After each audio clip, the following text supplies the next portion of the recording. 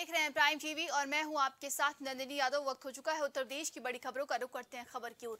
उत्तर Pradesh police की PRV यानी police response vehicle, जिसकी ज़िम्मेदारी किसी भी घटना या हादसे पर सबसे पहुँच, पहले पहुँचने की होती है। लेकिन गाजियाबाद में यही पीआरवी एक सभासद पद के प्रत्याशी की शराब बंटवा रही थी, जिसका वीडियो वायरल हुआ तो उसके बाद तीन पुलिसकर्मी जो पीआरवी पर तैनात थे और निर्दलीय सभासद के खिलाफ पुलिस ने मुकदमा दर्ज कर लिया।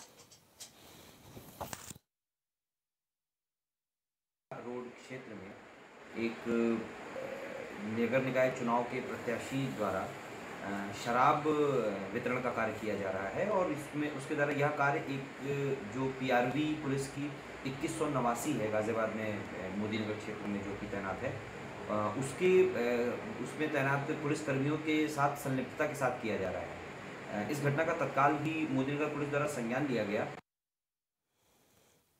फरीदाबाद में गाँव के लोगों को ही स्वास्थ्य से जुड़ी हुई अच्छी सुविधाएँ मिले। इसके लिए गाँव में भी दो हेल्थ सेंटर का यमुनानगर से मुख्यमंत्री मनोहर लाल ने वर्चुअल माध्यम से उद्घाटन किया। तेगांव के विधायक राजेश नागर सीएम के वर्चुअल में कांवरा गाँव से जुड़े। विधायक राजेश नागर ने इस मौके पर कहा कि हरियाणा के मुख्यमंत्री हर वर्ग के लोगों को अपने साथ लेकर चलते हैं। इस हेल्थ सेंटर से कई गाँव को इसका फ़ायदा मिलेगा।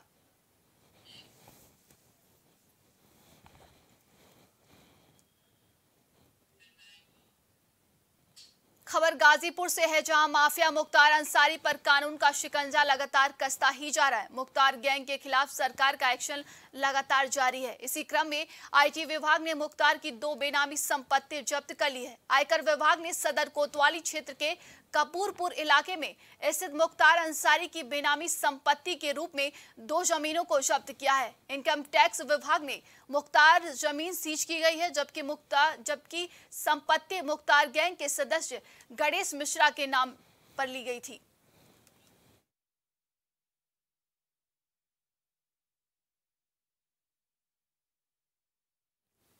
बदायूं में दबंग ग्राम प्रधान ने रास्ता ठीक नहीं कराया, जिसको लेकर ग्रामीणों ने खुद ही चंदा कर रास्ता ठीक कराया। बताते चले कि ग्रामीणों ने खुद से चंदा करके अपनी गली में खड़ंजा डलवाया ग्रामीणों का आरोप है कि प्रधान को मत नहीं दिए थे, इसलिए गली का निर्माण नहीं कराया गया। ग्रामीणों ने चंदा करके नाली और खड़ंजा लगवाया और ग्रामीण खुशी को ज़ाहिर किया गया है।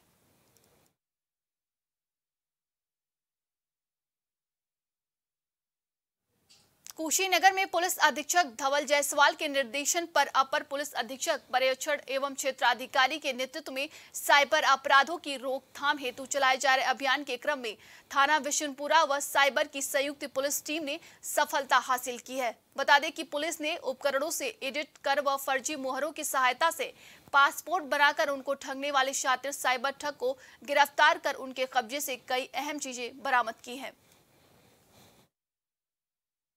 फर्जी वीज़ा और फर्जी आधार कार्ड बनाने वाले गिरोह का भंडाफोड़ किया है। इस क्रम में दो व्यक्तियों की गिरफ्तारी की गई है, जिनके नाम हरेंद्र यादव और अंकित गौड़ हैं और इनके पास से भारी मात्रा में कूटरचित दस्तावेज़ बरामद किए गए हैं। इनके पास से करीब एक लाख रुपए नकद बरामद किया गया है और अलग अलग तरीके के printer, QR scanning machine, camera, computer और एटीएम कार्ड, फर्जी आधार कार्ड, फर्जी वीज़ा और बत्तीस के आसपास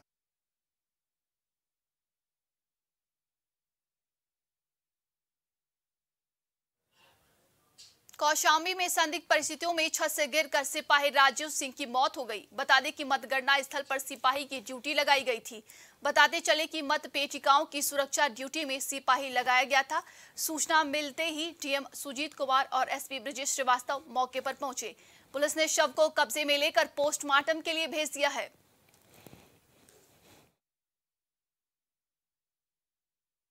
ड्यूटी के दौरान कल शाम पाँच बजे के बाद वो नहीं देखे गए थे।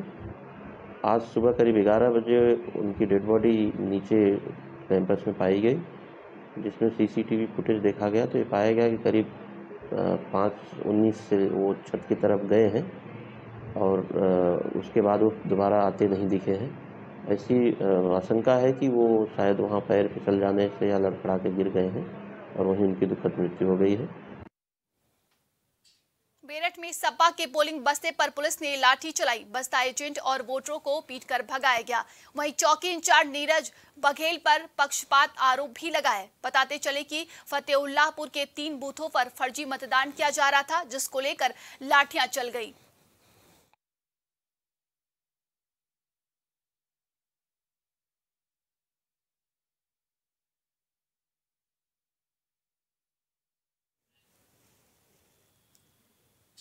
हरदोई में अखिल भारतीय क्षेत्रीय महासभा ने सांसद ब्रजभूषण शरण सिंह के पक्ष में प्रदर्शन किया। निष्पक्ष जाँच के लिए राष्ट्रपति को संबोधित ज्ञापन जिलाधिकारी को सौंपा। उन्होंने कहा कि विपक्ष की शह पर उनको फर्जी ढंग से फंसाया जा रहा है। अगर राजनीतिक षड्यंत्र में कोई कार्रवाई की गई तो पदाधिकारी आंदोलन को विवश होंगे। अखिल भारतीय क्षेत्रीय महासभा के पदाधिकारियों ने कलेक्ट्रेट में प्रदर्शन किया। उन्होंने कहा कि भारतीय कुश्ती महासंघ के अध्यक्ष ब्रजभूषण सिंह को फर्जी ढंग से फंसाया जा रहा है। राजनीतिक षड्यंत्र और पहलवानों के दबाव में कोई कार्रवाई की गई तो पदाधिकारी प्रदर्शन करेंगे। कुछ खिलाड़ी जो हैं और कुछ राजनीतिक व्यक्ति उनके साथ लग के उन पे मिथ्या आरोप गढ़ रहे हैं। मिथ्या आरोप उन पर लगा रहे हैं। हमने उनसे ये जिलाधिकारी महोदय महोदय के माध्यम से ये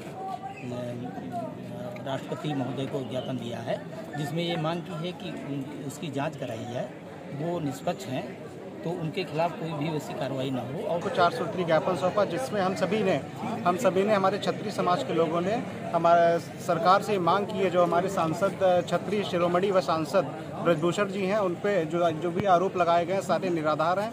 सभी और उन आरोपों की सरकार को निष्पक्ष जाँच करानी चाहिए। यही हमारे छत्री लोगों की मांग है। धन्यवाद। रायबरेली में शादी में शामिल होने आए युवक ने गोली मारकर आत्महत्या का प्रयास किया। बता दें कि गंभीर हालत में लखनऊ ट्रामा सेंटर रेफर कर दिया गया। मामला सदर थाना क्षेत्र के अंतर्गत नरुद्दीनपुर गाँव का है। पूरा मामला बताते चले कि ओम प्रकाश पांडे की भतीजे की शादी थी, जैसे ग्रामीणों के द्वारा परिजनों को सूचना मिली। परिजनों में हड़कंप मच गया और आनंद फानन में घायल युवक को लेकर जिला अस्पताल पहुँचे। गंभीर होने पर उसे लखनऊ ट्रामा सेंटर के लिए रेफर कर दिया गया, जिसके बाद पुलिस ने गोली लगने से घायल युवक से पूछताछ की। डॉक्टर साहब अभी एक गोली कांड आया क्या है मामला?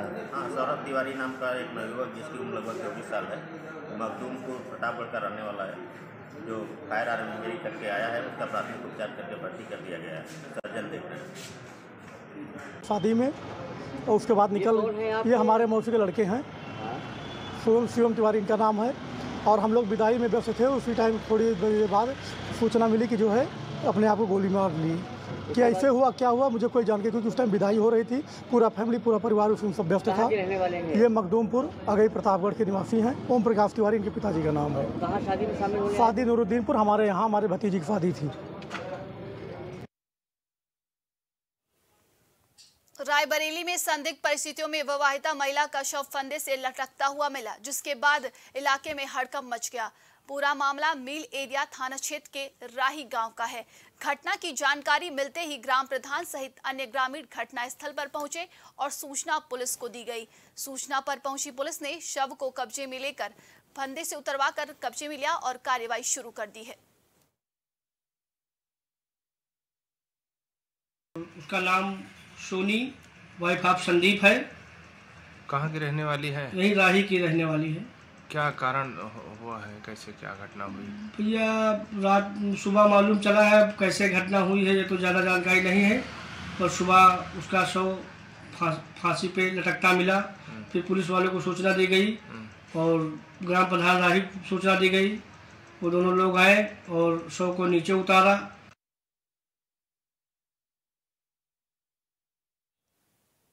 चोरों का आतंक लगातार जारी है। बता दें कि चोरों ने दिन दहाड़े सराफा व्यवसायी के घर में घुसकर चोरी की घटना को अंजाम दिया है। वहीं ग्रामीणों ने पकड़ा तो बता दें कि चोर को पकड़कर ग्रामीणों ने रस्सी से खिड़की में हाथ पर बाँध दिया।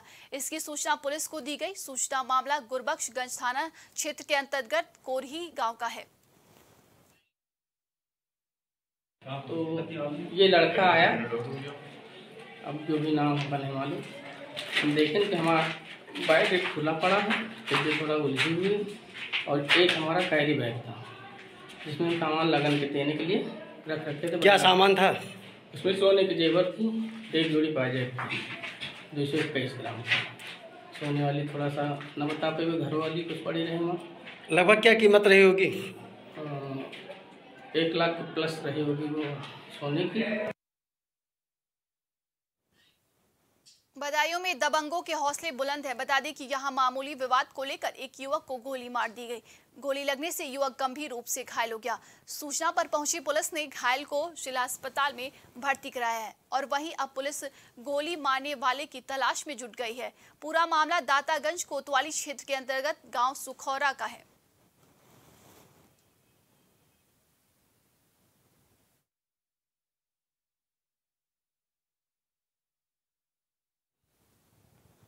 बुलंदशहर में आज नगर निकाय चुनाव उतार चढ़ाव के बाद शांतिपूर्ण तरीके से संपन्न हो गया। आपको बता दें कि 17 निकायों पर 137 नगर पालिका अध्यक्ष एवं नगर पंचायत अध्यक्ष उम्मीदवार और 1418 सभासद उम्मीदवार अपनी किस्मत आजमा रहे हैं। इसके साथ ही प्रत्याशी अपनी अपनी जीत की ताल ठोक रहे हैं, जिनकी किस्मत का फैसला सात दशमलव एक एक लाख मतदाताओं ने मतदान बॉक्स में बंद किया है। जिसका फैसला तेरह मई को आने वाला है। तेरह सत्रह निकाय चुनाव के लिए कुल दो सौ छिहत्तर मतदान केंद्रों के साथ 842 बूथ बनाए गए हैं। सभी मतदान केंद्रों पर सीसीटीवी कैमरों की व्यवस्था की गई थी। जिलाधिकारी द्वारा सभी मतदान केंद्रों का निरीक्षण कर जायजा लिया गया।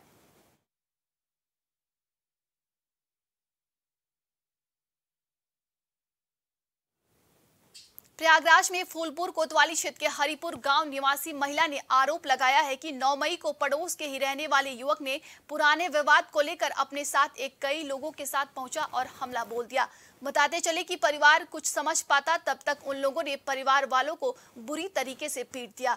वहीं पीड़ित ने इसकी शिकायत पुलिस से की। मौके पर पहुँची पुलिस ने परिवार के घायल लोगों को सीएससी में भर्ती कराया।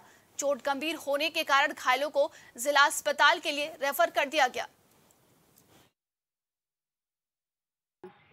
अच्छा पड़ोसी हैं आपके? पड़ोसी हैं।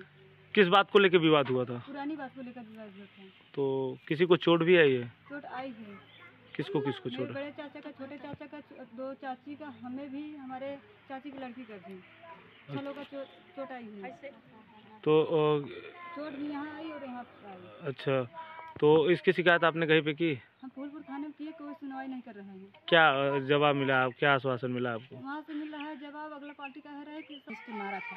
कौन मारे थे? राहुल है राहुल है अजीत है और आशीष है चंदमणि है राजमणि है।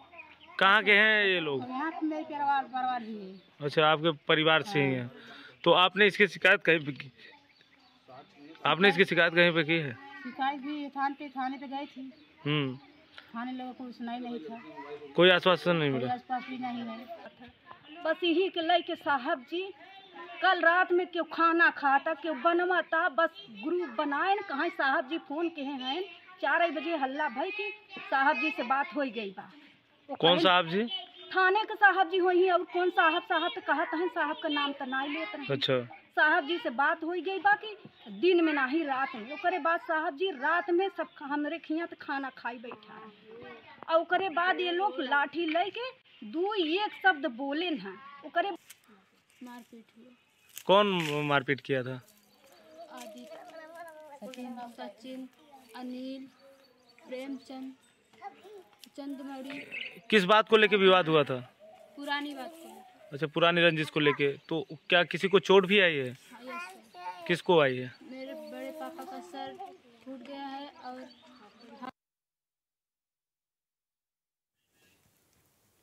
औरैया में नगर निकाय चुनाव सकुशल संपन्न हुआ। लोगों में मतदान को लेकर उत्साह देखा गया। वहीं मतगणना का समापन हो चुका है। इसके साथ ही 13 मई को मतगणना की काउंटिंग होगी और अब देखना यह होगा कि किसकी जीत और किसकी हार होगी।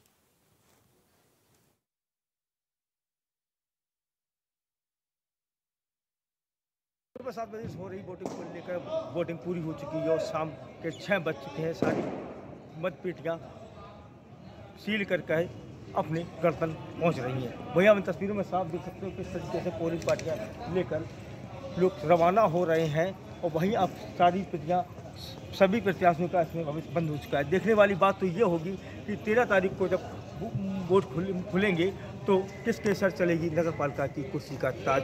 प्राइम टीवी के लिए जाहिद अख्तर की रिपोर्ट और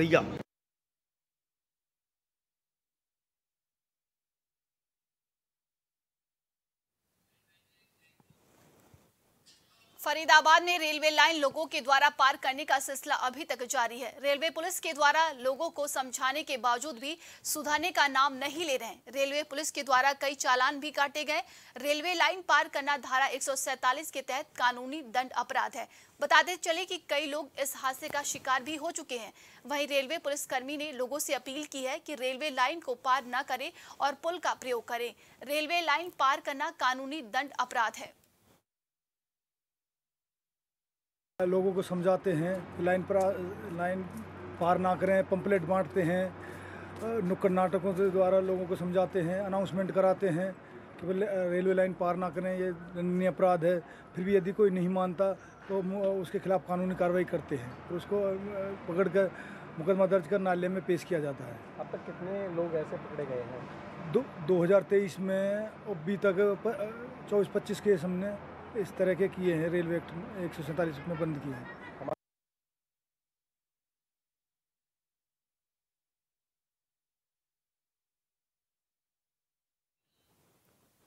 खबर गाजीपुर से है, जहाँ दसवीं की छात्रा ने कॉलेज में संदिग्ध हालात में जहर खा लिया। छात्रा को इलाज के लिए अस्पताल ले जाया गया, जहाँ डॉक्टरों ने उसे मृत घोषित कर दिया। मामला करीमुद्दीन थाना क्षेत्र के हाटम नगर इंटर कॉलेज का है। वहीं छात्रा के परिजनों ने कॉलेज के प्रिंसिपल पर टॉर्चर करने का आरोप लगाया है। फ़िलहाल पुलिस के दर्ज कर मामले की तफ्तीश में जुट गई है। कल थाना करीमुद्दीनपुर क्षेत्र में जो आठमेन स्कूल है, वहाँ एक बच्ची द्वारा जो कक्षा दस की छात्रा थी, उसके द्वारा कुछ विषैले पदार्थ का सेवन कर लिया गया था। उसे तत्काल उसके घर ले जाया गया, उसके बाद हॉस्पिटल ले जाया गया, जहाँ मृत घोषित कर दिया था। घर वालों ने कुछ आरोप लगाए थे स्कूल के प्रधानाचार्य। उस क्रम में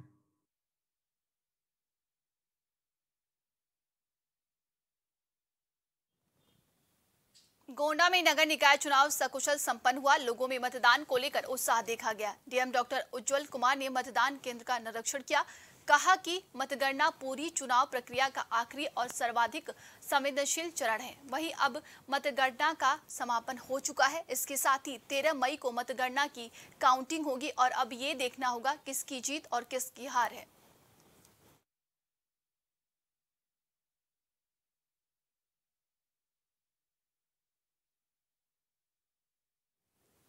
अंबेडकर नगर के दूसरे चरण के नगर निकाय चुनाव को लेकर जनपद अंबेडकर नगर के कुल चार नगर पंचायत और तीन नगर पालिका, टोटल सात पालिका और पंचायतों में चुनाव संपन्न हो गया। नगर निकाय चुनाव को सकुशल संपन्न कराने के उद्देश्य से डीएम और एसपी का पोलिंग बूथों का औचक निरीक्षण किया। डीएम ने पोलिंग बूथ पर तैनात कर्मचारियों को लापरवाही न बरतने के आदेश व चेतावनी दी थी। जनता ने चुनाव में बढ़ चढ़ हिस्सा लिया।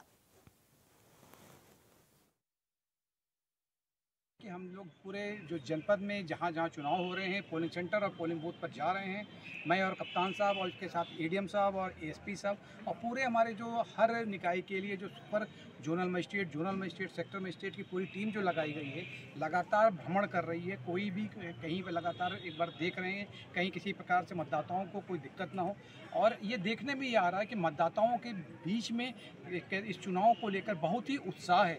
मैंने ये भी अभी देखा, इसके पहले वाले बसखारी में भी देखा किछौछा में देखा कि लोग कुछ एक नाबाल कह सकते हैं कि वो हैंडीकैप्ड दिव्यांग लड़की थी, वो साइकिल पे उसका पिता उसको बैठा के लाया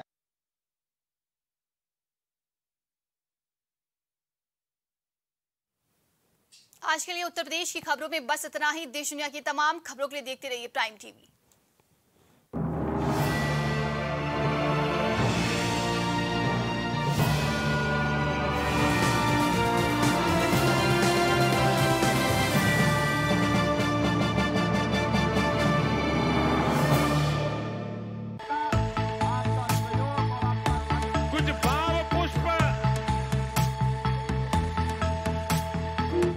देख रहे हैं प्राइम टीवी सच साहस।